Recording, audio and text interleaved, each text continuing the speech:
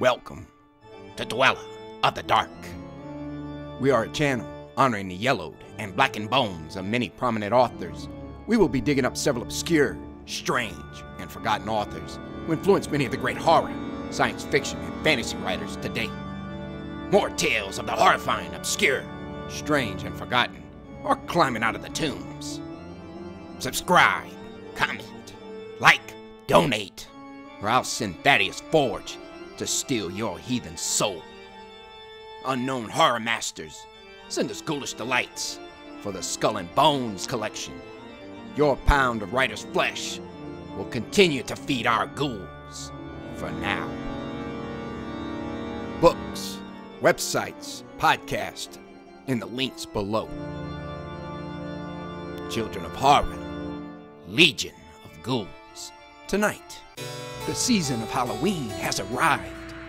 Each day, night, or hell, whenever the Spirit commands us, we'll be presenting all manner of Halloween themed tales, short stories, a novel or two, and much more. Let's kick things off with Edgar Allan Poe's ghostly masterpiece, Ulalume.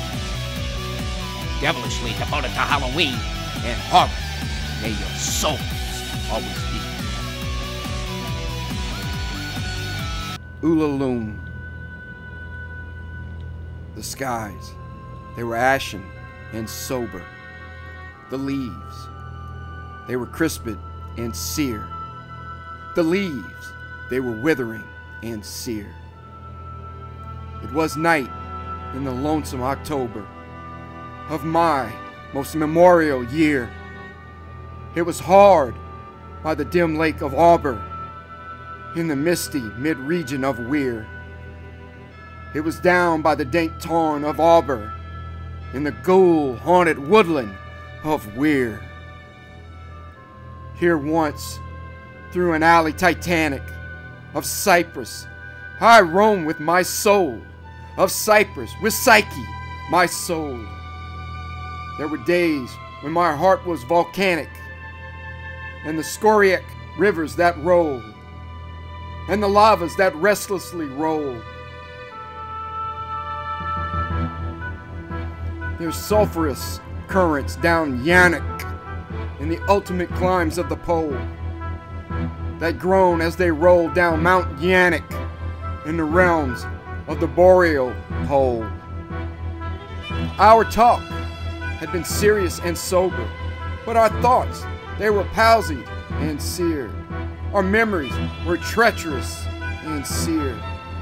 For we knew not the month was October, and we marked not the night of the year. Ah, night of all nights in the year. We noted not the dim lake of Auber, though once we had journeyed down here.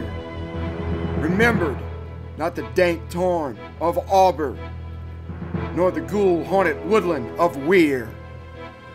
And now, as the night was senescent, and the star dials pointed to morn, as the star dials hinted of morn, at the end of our path, a liquescent and nebulous luster was born, out of which a miraculous crescent arose with a duplicate horn. Astarte's bediamond crescent, distinct with its duplicate horn. And I said, She is warmer than Dian. She rolls through an ether of sighs. She revels in a region of sighs.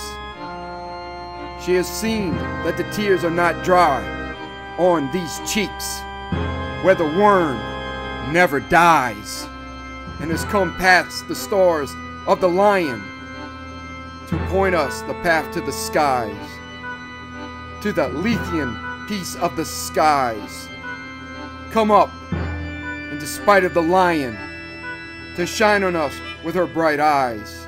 Come up through the lair of the lion, with love in her luminous eyes.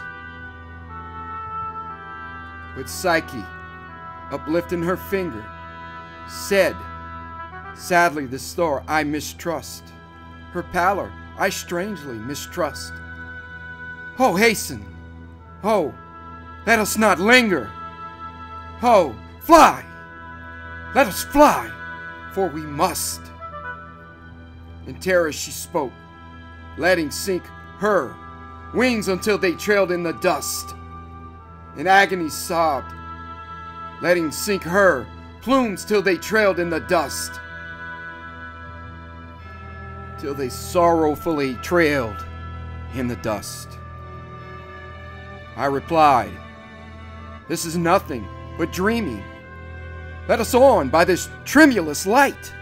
Let us bathe in this crystalline light.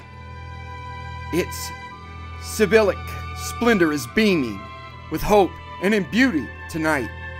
See, it flickers up the sky through the night. Ah, we safely may trust to its gleaming and be sure it will lead us aright. We safely may trust to a gleaming that cannot but guide us aright, since it flickers up to heaven through the night.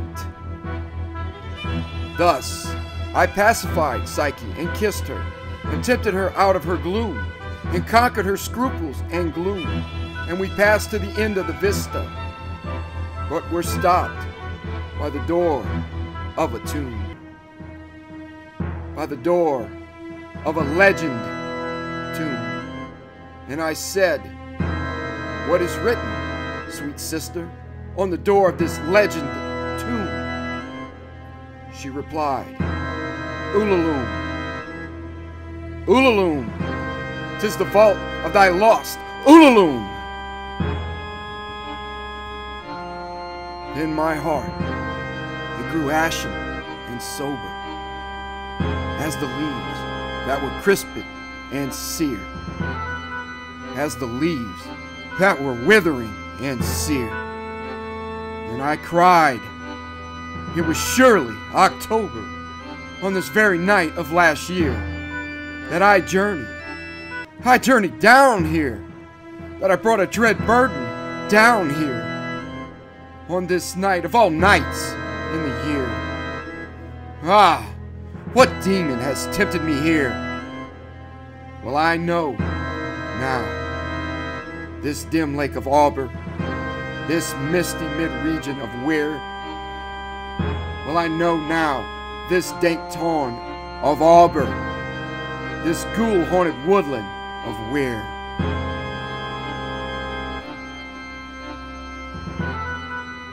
Thank you for listening. Have a great night.